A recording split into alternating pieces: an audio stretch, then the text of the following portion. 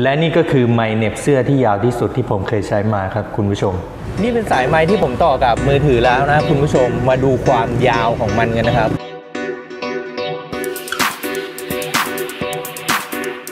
เฮ้ยมันยาวมากคุณผู้ชม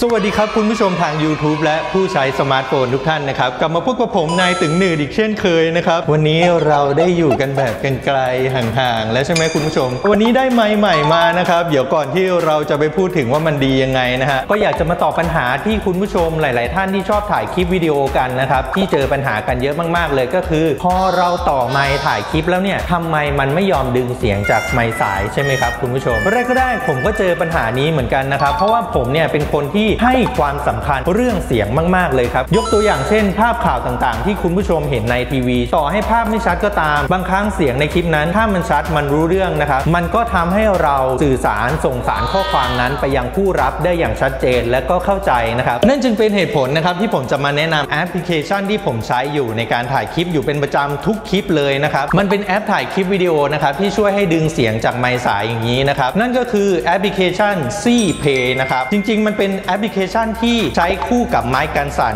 Zhiyun นะครับต่อให้เราไม่มีไม้กันสั่นเราก็สามารถใช้แอปพลิเคชันนี้ได้ครับคุณผู้ชม โอเคครับ เดี๋ยวเราไปดูนะครับวิธีการใช้แอปพลิเคชันนี้กันนะครับไปดูกันเลยครับเอาละครับคุณผู้ชมมาดูในส่วนของแอปพลิเคชันที่ผมใช้นะครับ ZY Play นะครับคุณผู้ชมจะเข้ามาดาวน์โหลดใน Play Store หรือว่าคลิกที่ลิงก์ด้านล่างคลิปนี้ก็ได้นะครับผมจะแปะลิงก์ไว้ให้นะครับโอเคครับเมื่อคุณผู้ชมดาวน์โหลดเสร็จเรียบร้อยแล้วนะครับเรามาลองเปิดใช้งานกันเลยครับ ปึ๊บหน้าตาแอปก็จะเป็นอย่างนี้นะครับ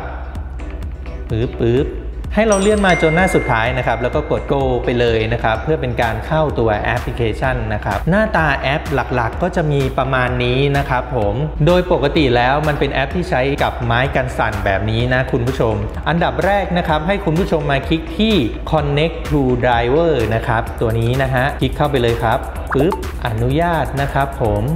โอเค อนุญาตให้หมดเลยนะครับ โดยปกติแล้วนะครับ ทางแอปจะเชื่อมต่อกับไม้กันสั่นผ่านบลูทูธนะครับ แต่เราไม่มีไม้กันสั่นให้คุณผู้ชมคลิกที่ตรงนี้เลยครับ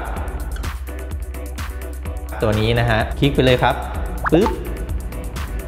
กดอนุญาตนะครับผมเรียบร้อยครับคุณผู้ชม หน้าตาแอปก็จะเป็นประมาณนี้ครับคุณผู้ชมอันนี้ผมบันทึกหน้าจออยู่นะครับผมก็จะมีให้คุณผู้ชมเซตค่าต่างๆ หรือว่าเลือกโหมดตัวนี้นะครับตัวนี้จะมีโหมดถ่ายรูปกับโหมดถ่ายวิดีโอนะครับแล้วก็จะมีการตั้งค่าภาพต่างๆ ตรงนี้นะครับคุณผู้ชม ตรงนี้จะเป็นการกลับกล้องหน้ากล้องหลังนะครับแล้วก็ในส่วนตรงนี้การดูคลิปหรือว่ารูปที่เราถ่ายไปแล้วนะครับเข้ามาดูในนี้ได้นะครับ ทั้งหมดทั้งมวลก็มีประมาณนี้ครับคุณผู้ชม คุณผู้ชมสามารถเข้าไปที่กล้องวิดีโอได้เลย แล้วคุณผู้ชมก็กดบันทึกตรงนี้ได้เลยครับ พอบันทึกทีนี้มันก็จะดึงเสียงจากไมค์สายตัวนี้ของเราเข้าไปในคลิปด้วยนะครับผมเพียงเท่านี้ครับคุณผู้ชม คุณผู้ชมไปลองใช้กันดูนะครับผมง่ายมากๆครับคุณผู้ชม และนี่ก็คือทั้งหมดนะครับสำหรับไมค์สายโบย่านะครับและแอปพลิเคชันที่ผมใช้สำหรับในการถ่ายคลิป เพื่อที่จะบันทึกเสียงจากไมค์สายด้วยนะครับคุณผู้ชม สุดท้ายนี้อย่าลืมกดติดตามช่องของนายตึงหนืดเหมือนเดิดิมนะครับผมแล้วถ้าคุณชอบคลิปนี้ฝากกดไลค์เป็นกำลังใจให้ผมด้วยนะครับ แล้วพบกันใหม่คลิปหน้าครับสำหรับวันนี้